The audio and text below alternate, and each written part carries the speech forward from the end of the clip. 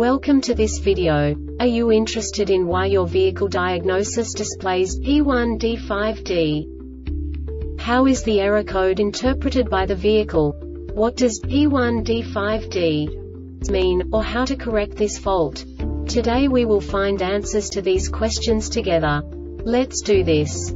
First, let's look at the history of diagnostic fault code composition according to the OBD2 protocol, which is unified for all automakers since 2000. We divide the electric system of automobile into the four basic units. Powertrain, body, chassis, network. This distribution is defined in the first character code. If the second character is expressed as zero, it is a standardized error. In the case of numbers 1, 2, 3 it is a more prestigious expression of the car-specific error. The third character specifies a subset of errors. The distribution shown is valid only for the standardized DTC code. Only the last two characters define the specific fault of the group. Let's not forget that such a division is valid only if the other character code is expressed by the number 0. Our website airbagreset.sk produces useful videos for you. You do not have to go through the OBD2 protocol anymore to know how to troubleshoot any car breakdown. You will find all the diagnostic codes that can be diagnosed in a Jeep vehicles. Also many other useful things.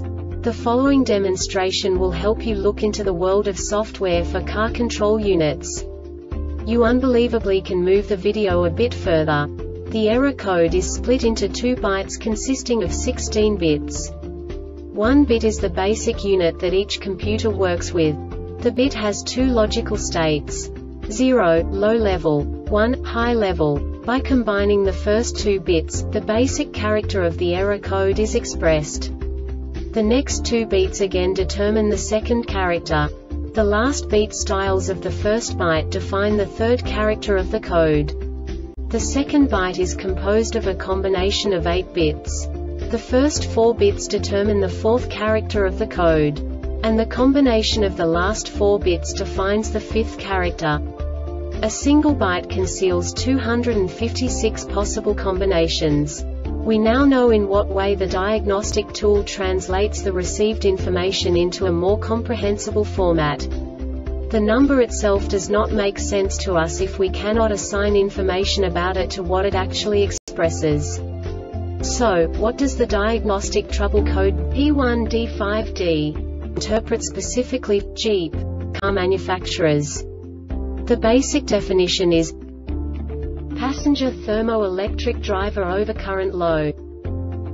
And now this is a short description of this DTC code. If SCME outputs to the driver seat backrest or cushion blower motor are shorted to ground or a blower motor resistance of less than 0.9 ohm is sensed, the SCME shuts down the driver seat system and sets this DTC. The Airbag Reset website aims to provide information in 52 languages.